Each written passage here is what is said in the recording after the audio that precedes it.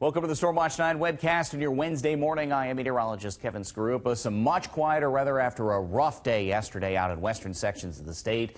Hail as well as gusty winds, heavy rainfall, flash flood warnings, even tornado warning issued for what could have been a circulation in the clouds that the radar was indicating. Nothing officially touching down. You'll notice what's left out there this morning is this front slowly making its way to the east coast early this morning, and that leaves us with a lot of clouds and a couple of scattered showers early on. Skies will try to break up as we work our May, late morning and into the afternoon, and that will allow temperatures to go anywhere from the upper 70s to lower 80s, cooler low and mid 70s eventually later this afternoon right at the shoreline. That is probably where the clouds will hold toughest through the day, but inland sections through the afternoon, again, either side of 80 degrees and partial sunshine. There will be that risk of a pop-up thunder shower later this afternoon. System will pull away later tonight, and with clearing skies, it sets up partly sunny skies tomorrow, maybe a stray shower up north, then mostly sunny skies for us on Friday.